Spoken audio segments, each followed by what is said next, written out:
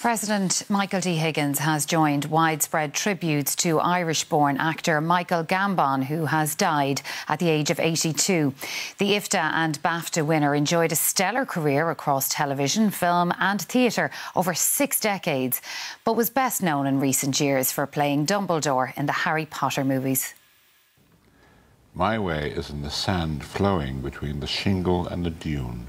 In acting circles, he was known as the Great Gambon. Some came to know him as the singing detective, while a younger generation know him better as Albus Dumbledore.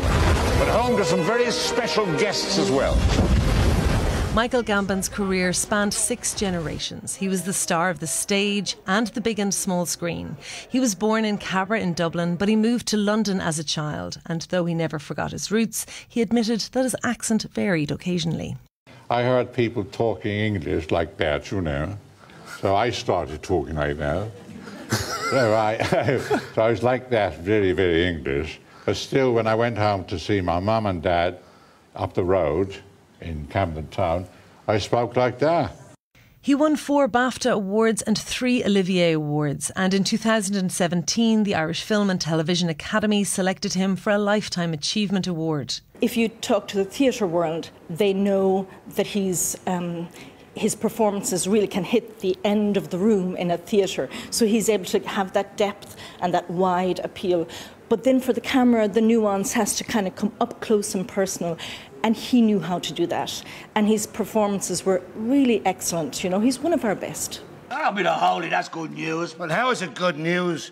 Wonder if in my condition would he call it good news? His very first stage performance was in a production of Othello in the Gaiety in 1962, where he returned for this performance of Juno and the Paycock in 1999. I was working in the Gaiety box office. I would sit and talk to him for for ages, you know, every day. Um, I just I, I used to love listening to his stories, and and I just sat in awe. Obviously, you know, he was uh, uh, such an amazing actor, you know.